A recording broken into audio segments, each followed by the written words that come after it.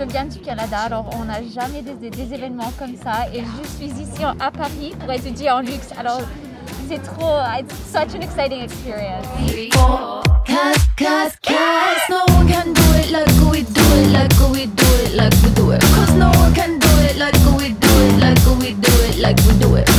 J'avais un rendez-vous, mais j'étais obligé de m'arrêter. like we do it. Cause no one can do it like we do it, like we do it, like we do it. J'ai trouvé que ça racontait vraiment quelque chose euh, de la période qu'on était en train de vivre. Je trouve que proposer une performance de ce type en période de Covid, alors qu'on ne peut pas aller dans les boutiques, qu'on ne peut pas se serrer dans les bras les uns des autres et proposer euh, quelque chose euh, comme ça qui raconte ce qu'on vit en ce moment, j'ai trouvé ça vraiment chouette.